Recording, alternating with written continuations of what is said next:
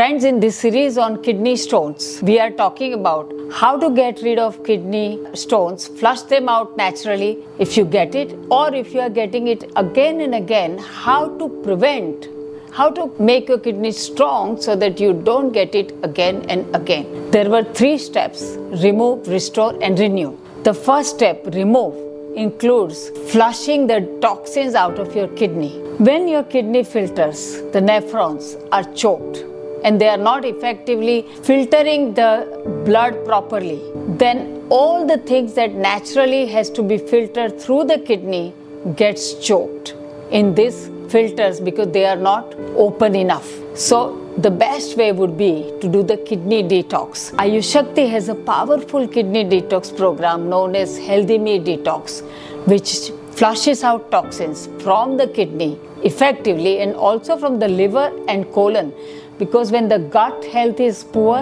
even kidneys get choked because of the toxins. So all three, three flushing will create cleared and clean nephrons and the kidney filters will be cleaned so that you can prevent get it again and again. Restore program for the kidney. How to restore kidney functions by the right diet. In the diet always eat lots of squashes. Vegetables like zucchini pumpkin.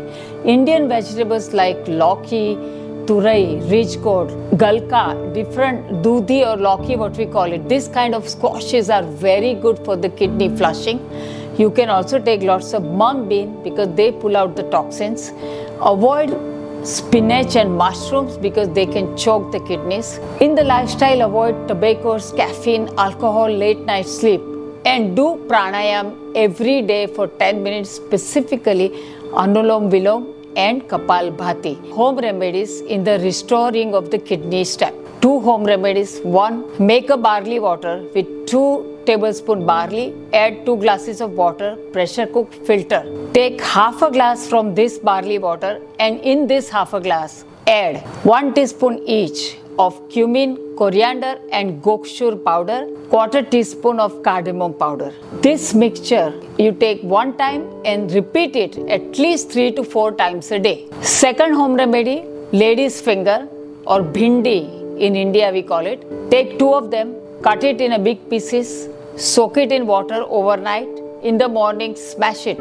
Filter this liquid out you can add some sweetener like honey or rock and sugar and drink it in the morning for six months. Keep doing it. You will prevent new kidney stones. Sometimes you can flush out small stones as well. I want to share a real story of Kelinor Kolbeck, a naturopath from Munich who came to our clinic and stayed there for arthritis treatment. Her calcium was not getting absorbed in the bones, and that's why she was getting always kidney stones. Kidneys had small, small, several stones actually. As soon as we started removing toxins, the stone started moving and she started getting pain, severe pain. And we gave the home remedies which I shared in the previous episode with you. With that, I gave ketone and uretone formula of Ayushakti, two tablets four times a day, constantly. You will not believe me, in around five days, her kidney stones were completely flushed out,